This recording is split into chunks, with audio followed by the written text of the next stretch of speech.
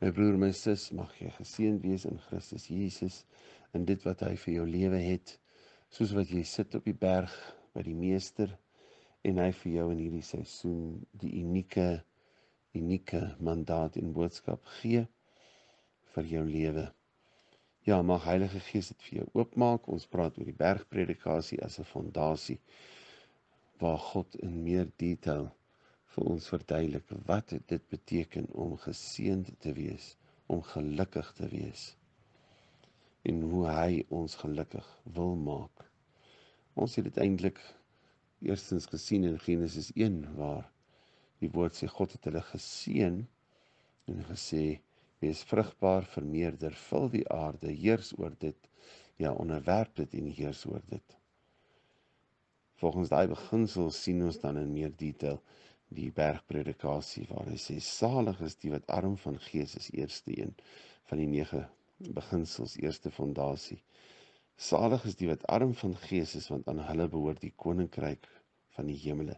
Dat die salig beteken drie maal gelukkig om gelukkig te kan wees. God wil hê jy moet gelukkig wees, maar om gelukkig te wees, die fondasie, die wat arm van gees is. Hoe posisioneer jy jouself in dit? Deurdat jy eerlik is en nederig is om dit te erken.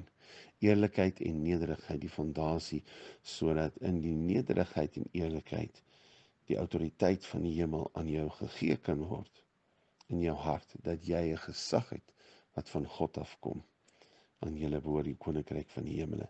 Die tweede fondasie wat daarop gebou word is salig is die wat treur want aan hulle want hulle sal vertroos word. Nie die wat treurig is nie, nie die wat uh 'n treurmare het soos wat mense sal sê nie. Wat net negatief is nie. Nee. Salig is die wat treur het 'n diepte in rondom gebrokenheid en bekering. Salig is die wat gebroke is voor God oor hulle lewe en in bekering, egte bekering staan.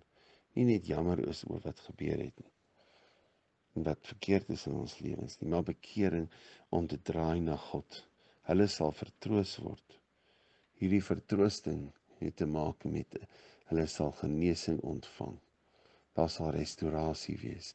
Daar sal gesonde lewe, 'n gesonde lewe wat uit God se hart uitkom vir hulle wees.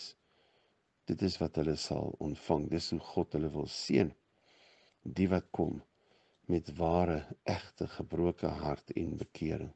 Egte bekering omdat nie omdat ons in die moeilikheid is nie, nie omdat ons eerstens iets verkeerd gedoen het nie, maar ware egte bekering omdat ons getrek word deur sy liefde gearresteer word deur sy skoonheid en ons daarom ons wil bekeer want ons wil by hom wees hom volg en saam met hom wandel mag dit regtig jou hart wees soos wat jy jouself oorgee aan God sodat van 'n posisie van eerlikheid en nederigheid jou gebrokenheid en bekering eg en mooi kan wees ek seën jou daarmee en mag dit 'n fantastiese seisoen wees in jou lewe.